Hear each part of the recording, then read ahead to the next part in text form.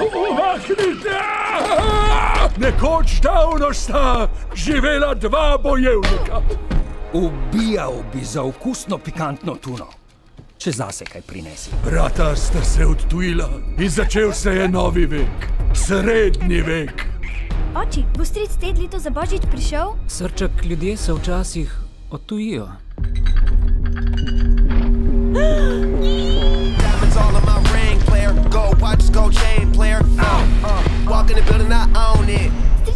pogrešala sem te. Pridna punca. Uhu. Denar ne more rešiti vsega. Seveda lahko. Nisi se spremenil, še vedno si dojenček. Na, potuzaj! Ti pocuzaj. Tudi, tudi, tudi. Trenutek. Ne rada prekinjam tako burno in napeto debato, ampak oba sta dojenčka. Govori velik. V družinskem poslu delam, vi dva pa delata zame, bumerja. Baby Corp je razbil novo vrsto mleka, ki odraslega za dva dneva spremeni nazaj v dojenčka.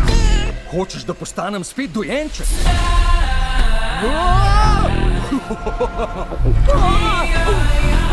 Hej! Ja, to je čudna faza. Ew, Baby Corp ponuja, da vama potem popolnoma izbriše spomin.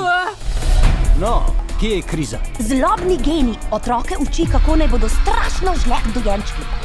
Dojenčki, dobrodošli v revoluciji. Za delo pod krinko se moramo zamaskirati. Kaj si vi storila? O, se hecaš, a bomo šli jadrat? O ne! Leta 21. Hvala, da mi stojiš ob strani. Saj sva brata, vedno drživa skupaj, družina si je v pomoč. Pohitimo, preden formula v mleku popusti. Kaj za? V tej karate oblekici si pravi cukrček.